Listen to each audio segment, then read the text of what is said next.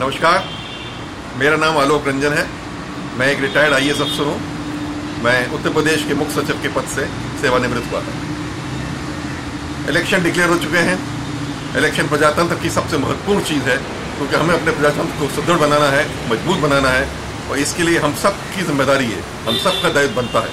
सबसे पहले हम वोटर हैं, और वोटर के माध्यम से हम लोगों को ये सुनिश्चित करना चाहिए कि हम सब जाके अपने वोट के अधिकार का उपयोग करें और जाके अपने प्रतिनिधि को चुनने के लिए अपना वोट डालें।